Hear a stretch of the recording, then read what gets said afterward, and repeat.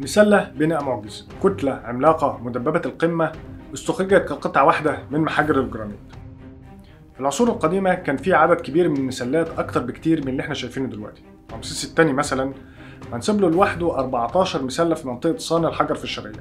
كلهم متكسرين. لما المؤرخ عبد اللطيف البغدادي زار مصر في القرن ال 13 الميلادي كتب إنه شاف مسلتين قايمين وعدد كبير من المسلات المحطمة في منطقة عين شمس. ما بقاش منه حاليا غير مسلة واحدة. المسلات بتمثل لنا معضلة ومعظم الأسئلة اللي عليها لسه ملهاش إجابة. ليه القدماء المصريين نحتوا معظم المسلات من الجرانيت الأحمر رغم إنه صخر قاسي جدا. ليه نحتوا المسلة قطعة واحدة؟ مع إنهم كانوا من الأسهل ينحتوها على قطعتين أو ثلاثة هل فعلا المجهود المبذول لنحت ورفع المسلات كان بس عشان تكون رمز لشعاع الشمس وتخليد ألقاب الملوك ولا في فايدة تانية؟ كل اللي بين ايدينا افتراضات لكن الحاجة المؤكدة إن في علوم متقدمة واقفة ورا الإعجاز الهندسي في المسلات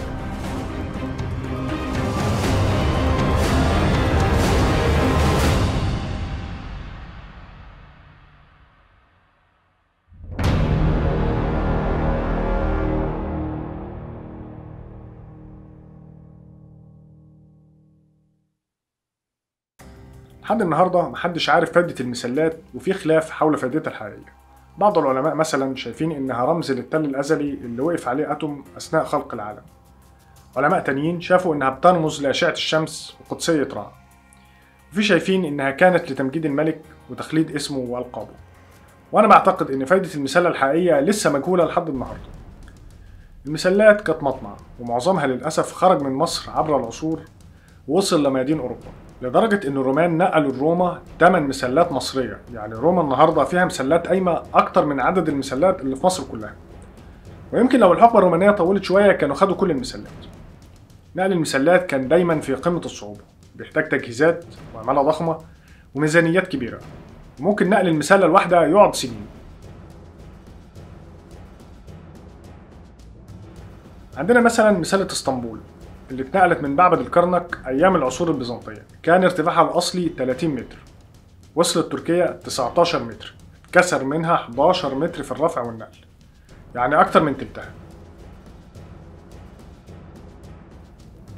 مسلة الفاتيكان ارتفاعها 25 متر ووزنها 330 طن. وكانت برضو عملية معقدة جدا. تم نقلها في مركب خاص مستقل بطول 80 متر متحوطة ب 1000 طن من العدس. عشان يحمي المسلة زي كده لما بنستعمل الفوم دلوقتي في نقل الحاجات القابلة للكسر واستقرت الأول في حديقة الإمبراطور كاليجولا. وحوالي سنة 1500 ميلادية ومع صعود الكنيسة في أوروبا وبأوامر من البابا سكستس الخامس اتنقلت لساحة الفاتيكان. وفضلوا ينقلوا فيها 13 شهر مسافة 200 متر. أحد الرسامين الإيطاليين اسمه نيكولا زاباليا رسم لوحة لإعادة تنصيب المسلة المصرية في الفاتيكان. بص كده في الصورة لعدد وشكل العناصر البشرية والأدوات اللازمة لنصب المسلة 900 عامل قوي و75 حصان استخدم لرفع المسلة حط الصورة دي قدامك وفكر إيه اللي ممكن تحتاجه مسلة أسوان اللي هي أربع أضعاف مسلة الفاتيكان في الوزن عشان تترفع.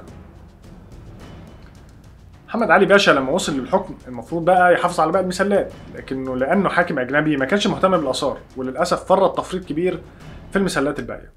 وأهدى مسلات لفرنسا وإنجلترا. بعزم شامبليون قدمت فرنسا طلب لمحمد علي لنقل المسلتين اللي في معبد الاقصر يعني الاثنين كانوا هيتنقلوا مش واحدة بس. لكن في الآخر فرنسا نقلت واحدة بس وما عرفتش تنقل الثانية بسبب المجهود الجبار والميزانية الكبيرة. المهندس الفرنسي جان لوبان اللي كان مسؤول عن عملية النقل كتب في مذكراته وقال أربعة أشهر ونصف من المخاوف والقلق واحتاج الأمر جمع أكثر من تسعين ألف متر مكعب من الرمل والحفر في تلال كبيرة من التربة وهدم 30 بيت وأخيرا بناء ما ينبغي من أحياء بإيواء 140 عاملا. وذلك كله في وسط رمال الصحراء وفي قلب ألوان من عذاب عنيف من أرض تغلي وتحت شمس تجعل مقياس الحرارة يرتفع إلى 50 درجة مئوية. يعني عشان تكون متخيل حجم المجهود 90 ألف متر مكعب رمال ده يعادل حجم 35 حمام سباحة أولمبي مليانين رمل جمعوها وبنوا عليها تلال عشان ينيموا عليها المسلة لحد ما توصل للمستوى الأفقي عشان يعرفوا يسحبوها لأن مفيش قوة هتقدر تشيلها. ودي بس كانت أول مرحلة اللي هي أخذ المسلة من مكانها. ورغم كل المجهود اللي حصل ده إلا إن المسلة حاليا مشروخة أنا مش عارف الشرخ ده جديد ولا قديم لكن بيدل إن مهما كانت الاحتياطات برضه المسلة ما بتتنقلش صح وبيحصل فيها كسور أو شروخ. حتى هتلاقي حواليها سنسورز أو مجسات عشان يطمنوا إن ما فيهاش خطورة. بريطانيا قالت طب إشمعنى إحنا؟ وقدموا طلب تاني لمحمد علي فأهدى لهم مسلة تحتمس الثالث اللي كانت في اسكندرية وفضلت المسلة في مكانها 50 سنة لأن الحكومة البريطانية رفضت تمولها بسبب ارتفاع التكاليف. لحد ما أحد أطباء التشريح الأغنياء البريطانيين قام بتمويل عملية نقل المسلة وتصمم لها مركب مخصوص للنقل وبسبب الصعوبات اللي واجهوها مات ستة أشخاص في عملية نقل المسلة أسمائهم محفورة النهاردة على القاعدة.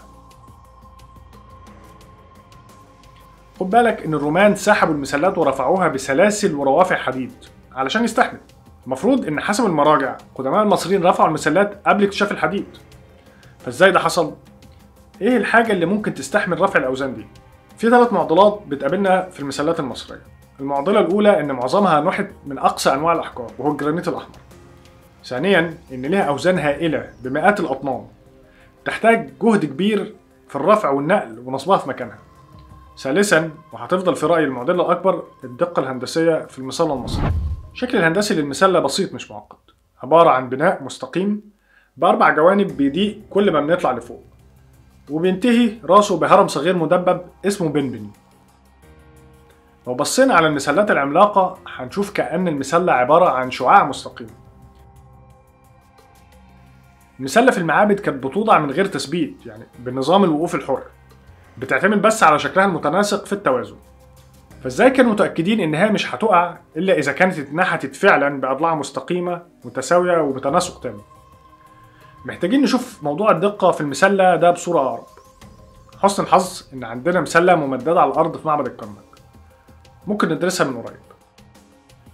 المسلة المكسورة في معبد الكرنك منسوبة للملكة حتشبسوت وموجودة جنب البحيرة المقدسة. مسلة الكرنك من يوم ما اكتشفت وهي كده ما ترممتش. الباقي من المسلة جزء يقدر بتسعة وأربعة من عشرة متر ووزن خمسة وستين طن. لما تبص على المسلة من قدام هيجيلك خاطر إن قمتها المدببة في نص المربع بالظبط. لكن محتاجين طريقة عشان نثبت الموضوع ده. هنستعمل برنامج على جهاز آيباد اسمه سيمتري. البرنامج ده أنا هحكي قصته قدام إن شاء الله في حلقة التماثيل لأننا لما عملناه كان الهدف منه تصوير التماثيل بطريقة معينة. لكن حاليا وبشكل مختصر البرنامج هدفه مساعدتك على تصوير أي شكل من المنتصف بالظبط يعني صور سيمترية. هنستعمل حامل كاميرا للتثبيت وهنحطه قدام المسلة. هنشغل البرنامج وهيبدأ يطلع لك تقسيم اسمه grid overlay انت بتفضل تحرك الجهاز يمين وشمال لحد ما توصل لأفضل وضع وتتأكد إن عدسه الكاميرا في النص بالظبط وتتأكد برضو إن الخطوط على المحاور. خدت مجموعة من الصور. وبعدين حملتها على الكمبيوتر. على برنامج CAD في حالتي أنا استخدمت برنامج اسمه Microsoft Visio وكان السؤال اللي بنحاول نجاوبه هو لأي درجة كانت الدقة في قمة المسلة هناخد واحدة من الصور وهنضيف عليها مجموعة من الخطوط المعيارية. في مربع منحوت في قمة المسلة هنضيف عليه مربع ونسميه مربع صاد.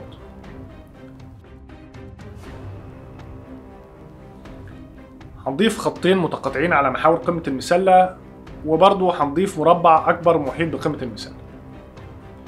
هيتضح لنا الآتي. إن محور واحد ومحور اتنين قد بعض في الطول والاتنين مايلين بزاوية 45 درجة. لأن الأضلاع الأربعة لقمة المسلة متساوية وبتشكل مربع كامل. عايزين نتأمل الشكل والمقاييس دي ونسأل سؤال هنا. هل ممكن الدقة والأبعاد دي تكون بشاكوش وأزميل أو بطريقة بدائية؟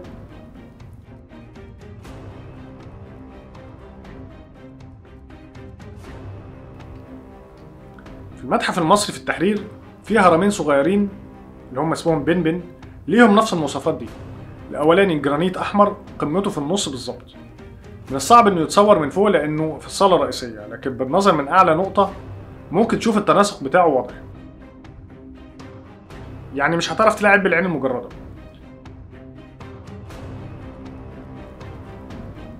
والتاني جنبه هرم أسود لابن محات التالت بأضلاع مستقيمة متساوية.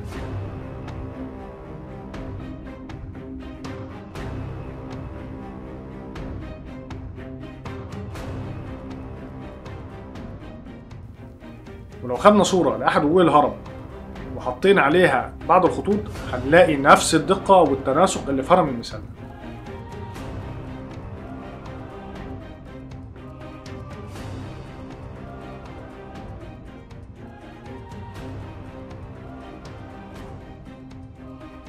ده يقول لنا حاجة مهمة إن الموضوع ما كانش صدفة وإن واضح إن هي دي الدقة المعتادة في آثار مصر القديمة. اللي بيستدعي التفكير هنا هو إزاي نحتوا قمة المسلة عشان تكون بالشكل ده. هيعرف يعملها إزاي إن القمة تكون في النص بالظبط. إيه شكل الأدوات اللي استعملها؟ حاليا وعشان ننحت أشكال مشابهة بيتم الاستعانة بماكينات اسمها milling machines. بتقوم بالنحت بدقة عالية ويتم التحكم في الآلة دي بواسطة نظم ميكانيكية أو كمبيوتر. طب إذا كان النهارده عندنا نظم ميكانيكية ونظم كمبيوتر فإيه اللي امتلكه القدماء المصريين عشان يوصلوا لنفس دقة الآلات اللي عندنا النهارده عايزين نفهم إزاي المسله اتنحتت عشان نحاول نجاوب على السؤال ده محتاجين نروح دلوقتي للمكان اللي اتنحتت فيه المسلة محجر الجرانيت الأحمر في أسوان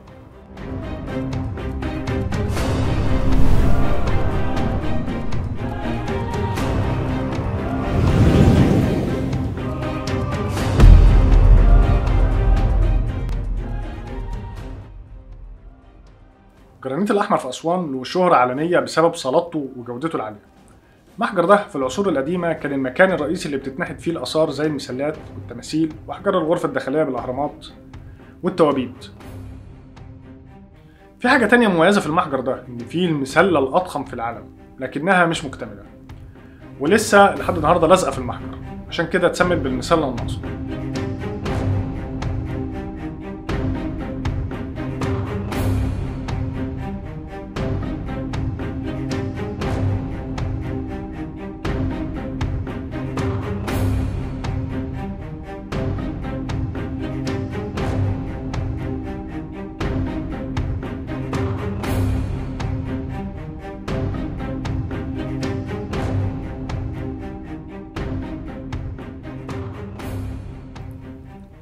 عندنا هنا بقى كذا معضلة عايزين نفكر فيها. أول معضلة هي وعورة المحاجر. المحاجر مش ممهدة، عاملة زي الجبل. ما ينفعش يقف حوالين مسلة في نفس الوقت أكتر من 150 أو 200 شخص بالكتير.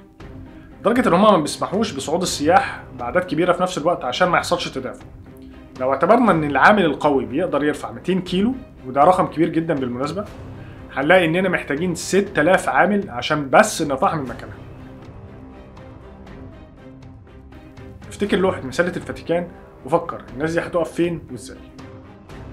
المعضلة التانية هي صلادة الجرانيت. الجرانيت الأحمر نتيجة لوجود الكوارتز فيه بقى الصخر شديد الصلادة. ينفعش التعامل معاه بأدوات النحاس والبرونز. طب هو ليه مستحيل قطع الجرانيت الأحمر بالبرونز والنحاس؟ إحنا هنا محتاجين نشرح مقياس موس. سنة 1812 طلع عالم المعادن الألماني فريدريش موس مقياس باسمه لقياس صلادة المواد. قايم على مبدأ سهل جدا.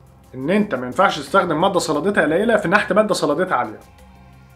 مبدئيا تعريف الصلادة بالدال هي قدرة المادة على مقاومة الخدش. ده غير الصلابة اللي بالب. دي حاجة تانية خالص. الصلابه دي قابلية المادة للطرق والإنحناء زي المعادن مثلا تقدر تتنيها وتفردها من غير مشكلة. لكن إحنا بنتكلم عن الصلادة. مقياس موس من واحد لعشرة أقل صلادة واحد وأعلى صلادة عشرة. أقل حاجة في الجدول تحت مواد زي الشمع أو الأملاح المتحجرة. لأن دي صلادتها ضعيفة. ممكن تحفر فيها بأي حاجة. ممكن تحفر فيها حتى بضوافرك. وأعلى حاجة الماس. وباقي المواد في النص. النحاس تلاتة ونص. البرونز أربعة.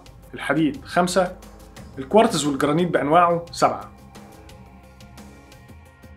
معنى كده إن لو عايز أنحت الجرانيت لازم أنحته بأدوات أعلى منه في الصلابة.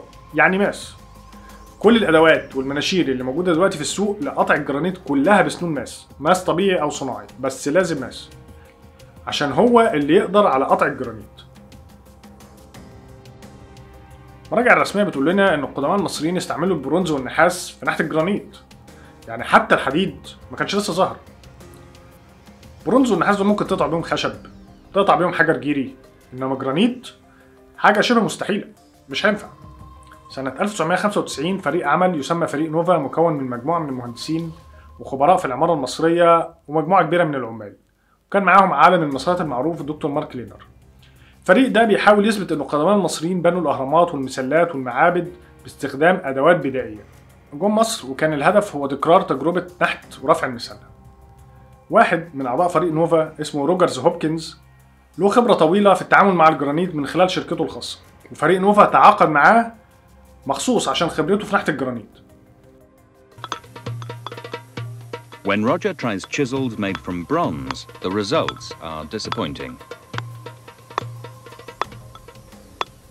As you can see, we're just we're leaving a lot of metal and very little stone is flaked.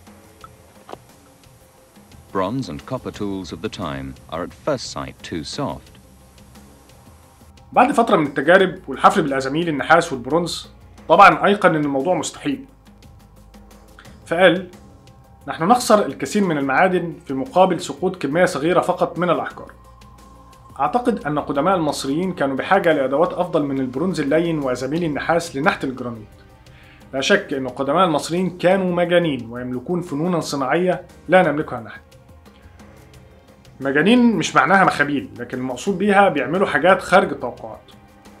هو أيقن إن أكيد في حاجات تانية غير الأدوات دي بس هو مش عارفها.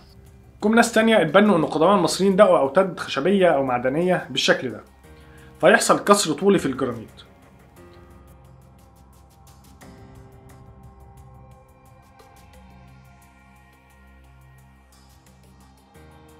تجربة عملية على كسر الجرانيت قدامنا أهي.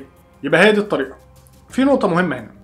بعد ما أعمل تجربة معينة لازم لازم أقارن نتيجة اللي أنا عملته باللي قدماء المصريين عملوه والمفروض يطلع نفس النتيجة. ودي الخطوة المهمة اللي ما بتتعملش. لو قارنت هنا بين النتيجة اللي الطريقة دي طلعتها وبين استقامة المسلة هنلاقي شكل مختلف تماما. كده إحنا هنطلع مسلة متعرجة مش مستقيمة. ممكن حد يقول نسويه بأحجار تانية. يبقى طريقة الأوتاد دي زيها زي طريقة نوفا ناقصة فيها ثغرة. وحتى لو استعملنا حاجة للصنفرة أو مساواة السطح مش هنقدر نخليها بالاستقامة دي. الاستقامة بالدقة دي عشان نعملها النهاردة بتتعمل بمنشار دائري قطره كبير بسنون ماس. ماس اكتشف في القرن ال 19 هما بقى كان عندهم إيه؟ بعتذر لو الصورة مش واضحة قوي هنا ده نموذج لكسر جرانيت بأوتاد معدنية. وده أوتاد عريضة أسلوب استعمله الرومان موجود في أماكن كتير في مصر من ضمنها محاجر أسوان وإسكندرية في منطقة عمود السواري. موضوع الأزاميل والمناشير النحاس كده مش هينفع. محتاجين نفكر في طريقة تانية. هنشوف دلوقتي واحدة من أهم التجارب لنحت المسلة. ترجع أهميتها مش لأنها طريقة فعالة أو حاجة لكن ترجع شهرتها علشان المنصب اللي اتبناها. ريجنالد إنجلباك مشرف الآثار البريطاني في منطقة مصر العليا في أوائل القرن العشرين لما كانت مصلحة الآثار خاضعة بالكامل للأجانب إنجلباك عمل عدد من الدراسات المهمة عن المسلة الناقصة وحطها في كتاب The Problem of Obelisks أو معضلة المسلات واللي كان فيها بيحاول الإجابة على مجموعة من الأسئلة ومن ضمنها الإجابة على سؤال إزاي اتنحتت بعد دراسة المسلة والمحجر اتبنى إنجلباك طريقة النحت بحجارة ال dolerite وال dolerite ده صخر صلد جدا أعلى حاجة بسيطة من الجرانيت وافترض إن قدماء المصريين استعملوا حجارة زي دي على شكل كور وقاموا بالدق على الجرانيت وكحته بالصورة دي. آه يفضل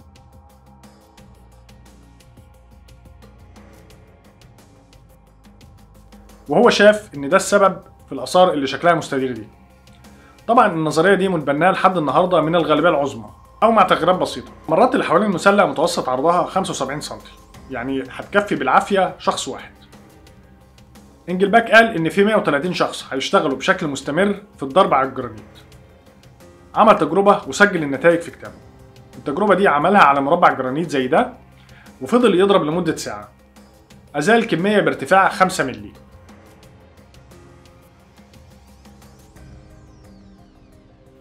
يعني حسب أرقام إنجلباك لو جبنا 130 عامل قوي متدرب كويس ممكن المسلة دي تتنحت في سبع شهور. طيب إحنا عايزين نعرف الطريقة دي منطقية ولا لأ؟ فريق نوفا عمل نفس التجربة.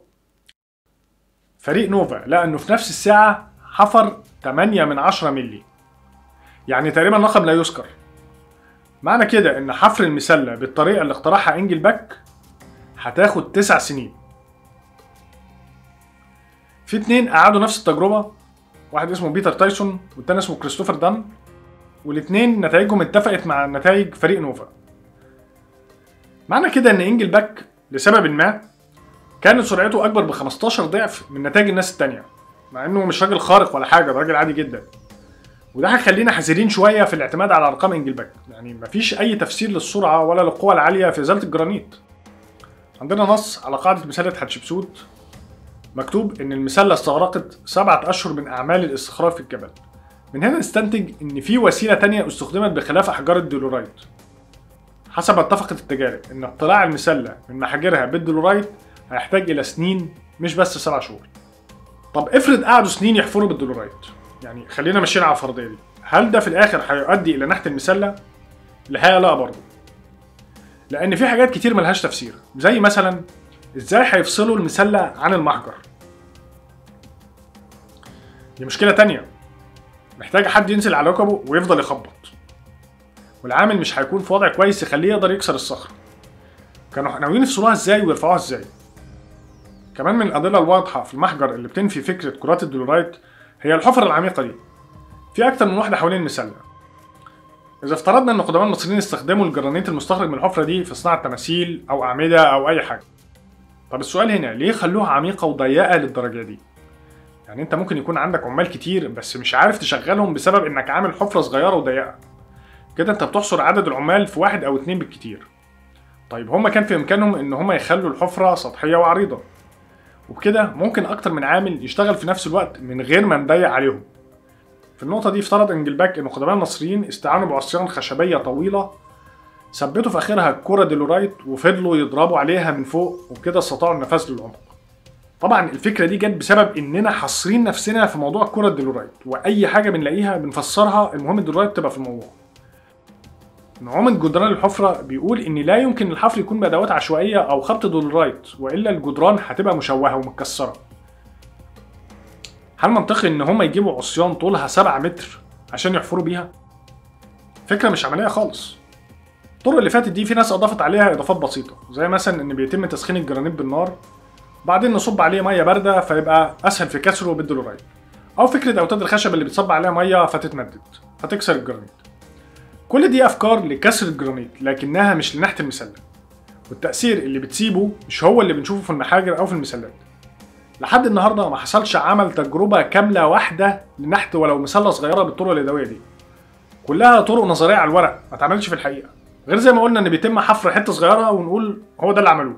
لكن لحفر واقتلاع كتل جرانيت كبيرة أو الوصول للشكل النهائي للمسلة الموضوع ده ما حصلش لحد النهارده على مدخل معبد الكرنك فيه مسلة قصيرة من الحجر الرملي ما تزيدش عن 3 متر وعليها خراطيش الملك سيتي الأول. أنا ممكن أقول لك وبكل ثقة إن دي اتنحتت بأحجار دولورايت أو أزاميل نحاس أو أي وسيلة بدائية تانية. أولا لو بصينا عليها من قريب هنلاقيها مايلة. مفيش فيها الدقة والاستقامة اللي شفناها في المثالات التانية. زوايا مستديرة مش حادة. كمان منحوتة من حجر طري نسبيا مش جرانيت. لو قارنا فعلا بين المسلتين هنلاقي اختلافات كبيرة هنا بنقول إن الأدوات والعلوم اللي استخدمت لنحت المسلة الصغيرة دي بتختلف تماما عن الأدوات والعلوم اللي استخدمت لنحت المسلات الكبيرة قدماء ما كانوش هيقدموا على عمل زي ده من غير ما يكون معاهم الأدوات والتقنية اللازمة عشان ينجزوه بكفاءة وسرعة لو كانت الوسائل البدائية والعنصر البشري بس هو الطريق لنحت المسلات كنا هنلاقي في عصر ازدهار الإمبراطوريات الرومانية والفارسية مسلات أكبر وأعظم. لكن الحل ما كانش عمره لا في كتر العمال ولا في طول الوقت. نيجي لنقطة مهمة دلوقتي. طب هو إيه فايدة المسلات؟ المجهود الجبار اللي اتبذل لنحت ونقل المسلة أكيد لازم يبقى فيه وراه فايدة كبيرة. شائع في كل المراجع إنها رمزية زي ما قلنا. موضوع الرمزية ده بصراحة مش مقنع خصوصا إن هي اتنحتت من الجرانيت لو كانت رمزية فعلا طب ما كانوا ينحتوها من الحجر الجيري. اللي أكيد كان هيكون أسهل بكتير في نحته ونقله. على الأقل حتى في مسلات الشمال زي اللي في صن الحجر وعين شمس. مين عنده استعداد يفضل يقطع وينحت كتل 200 و300 طن وينقلها 1000 كيلومتر عشان مجرد تبقى رموز؟ بالنسبة لكتابة القاب وإنجازات الملك. ما هو نقوش الملك دي كان ممكن تتكتب برضو على مصلى حجر جيري. عندنا كمان حاجة غريبة في مسلة الفاتيكان. اللي ما عليهاش أي نقوش. كل المجهود ده في نحت مسلة 350 طن وفي الآخر ما يكتبش عليها حاجة. طبعا مش معقول يكون نسي. أمال هو عاملها ليه؟ يبقى موضوع تسجيل الألقاب والأعمال كانت حاجة ثانوية لكن مش هي دي الوظيفة الرئيسية للمسلة. طب ليه كانت لازم تبقى قطعة واحدة؟ ما كان ممكن تتبني طبقات زي العمدان كده وهيكون شكلها جميل برضه. لكن هم ما عملوش كده. مسلات بتتغطى من فوق بغطاء معدني وعندنا أكتر من دليل في الموضوع ده. عندنا المسلتين بتوع حتشبسوت مكتوب عليهم إن هم اتغطوا بالإلكتروم. الإلكتروم ده سبيكة من الفضة والذهب. حمص الثالث على مسلته في إيطاليا مكتوب إن قمتها مغطاة بالذهب. المؤرخ عبد اللطيف البغدادي سنة 1200 ميلادية نقل إن في مسلتين شافهم بعينه في عين شمس لسه محتفظة بأغطيتها المعدنية. يبقى المسلات كانت بتتغطى قمامها بسبائك معدنية واللي أكيد اتسرقت أو فقدت عبر الزمن. طب إيه برضه فايدة السبائك دي؟ وليه القمة بس؟ أكيد في فايدة للمسلات غير إن هي تكون رمزية. لكن إيه هي؟ الحقيقة هي نقطة صعبة وملهاش إجابة جاهزة لكننا هنحاول. المسلة كان ليها وظيفة محددة. الوظيفة دي كانت هتفشل لو المسلة مش متناسقة. الوظيفة دي كانت هتفشل لو المسلة مش جرانيت أو لو المسلة أكتر من قطع أو فيها وصلات أو لحامات يعني هو ما اختارش إن هي تبقى جرانيت من غير لحامات حاجة رفاهية. زي كده شاشة التلفزيون. لازم تبقى أزاز ولازم تبقى قطعة واحدة من غير لحامات لو حصل فيها كسر ولحامته مش هتأدي وظيفتها. الجرانيت من أهم مكوناته هو الكوارتز. الكوارتز ده عبارة عن كريستالات فاتحة لامعة بتكون باينة في كسر الجرانيت وهي اللي بتديله الصلادة العالية دي. كوارتز بيتميز بخاصية اسمها piezoelectric effect. ومعناها إن الكوارتز بيصدر شحنات كهربية مع وجود ضغط عليه. المسله دي من الكوارتز.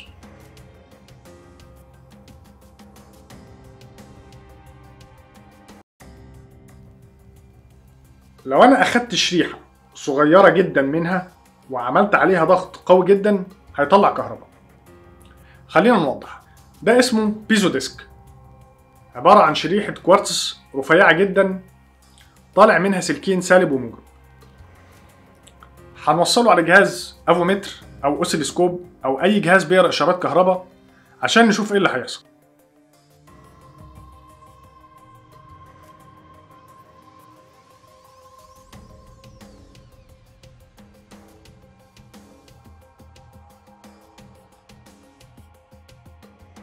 هنلاقي إن مع الضغط على الكوارتز في إشارة بتترسم. أنا اللي يهمني حاليا هي الخانة اللي مكتوب عليها في max دي دي قيمة الفولت اللي بيتولد بالضغط هنلاقي إن الكهرباء اللي بتتولد بتوصل ل 14 و 15 فولت. طب الفولت اللي طالع ده تعال نحاول نجرب ننور بيه حاجة.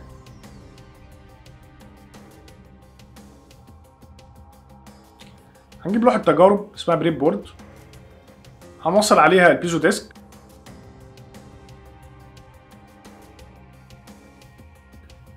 هنوصل عليها ليدات أو لمبات صغيرة زي دي.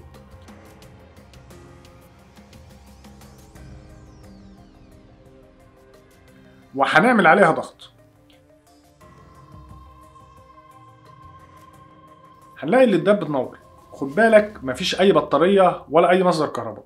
الكهرباء جاية من الضغط اللي بيحصل على كريستالة الكوارتز دي وهي اللي بتولد الشحنات. دي حاجة كده ربنا خلقها ومديها لنا هدية في صخور الكوكب. مش انت أحيانا بتقرا خبر ان دولة فلانية بتولد كهرباء من مطبات العربيات في الشارع أو من سير الناس على الارصفة. الموضوع ده إزاي؟ ما هو بالطريقة دي. كريستالات كوارتز وبالضغط عليها سواء ناس أو عربيات بتولد شحنات كهربية وبيتم الاستفادة بيها. طيب الاشارات الكهربائيه دي بتصدر إزاي؟ ده الشكل البنائي بتاع الكوارتز. لما نخش في تفاصيله هنلاقي ان صيغة الكوارتز الكيميائية هو ثاني أكسيد السيليكون. وده عبارة عن أكسجين بشحنات سالبة والسيليكون واخد شحنات موجبة. لما بيحصل ضغط على الذرات بيقربوا من بعض.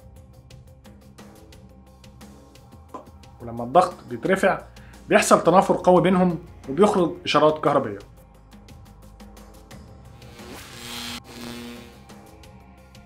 خلينا ناخد مثال تاني موجود في بيوت كتير.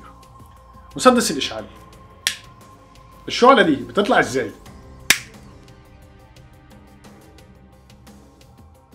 لو فتحنا هنلاقي حجر كوارتز برضو جوه.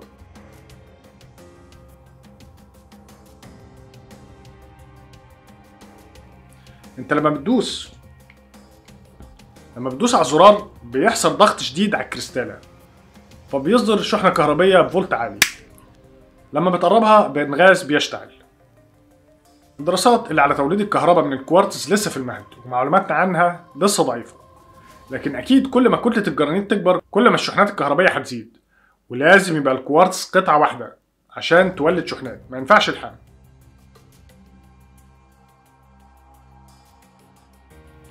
تناسق والاستقامة العالية اللي في المسلة كانت في رأيي عشان خاصية الاستقرار أو الوقوف الحر.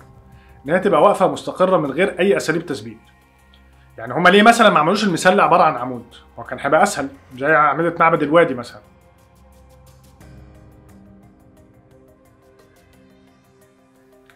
لأن العمود مركز الثقل بتاعه فوق فثباته هيكون أضعف وأقل.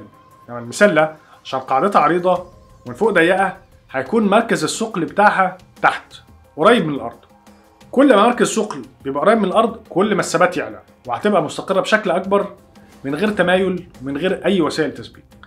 في جملة مكتوبة على مسلة تحتمس الثالث اللي موجودة دلوقتي في إيطاليا قمتها من الذهب وأضاءت بجمالها وست. وست اللي هي مدينة الأقصر حاليا إحنا دايما كنا بنعتبر النصوص مجازية زي ما قلنا مصر صورة السماوات. افتكرنا إن هي مجازية تعبيرا عن الجمال والصفاء وطلع إن المقصود صورة بالمعنى الحقيقي. فلما يتكتب على المسلة أضاءت بجمالها وست أو الأقصر يبقى ممكن إن هي تكون فعلا أضاءتها بالمعنى الحرفي مش المجازي وإن ده وارد جدا يكون أحد فوائد المسلة ويبرر انتشارها في معظم مناطق مصر القديمة. مثال الناقصة بتقدم أدلة غير مباشرة عن الاندثار المفاجئ لأصحاب الحضارة. مشهور في المراجع إن المسلة الناقصة منسوبة للملكة حتشبسوت. وتوقفت لأنها اتكسرت منهم وهما بينحتوها.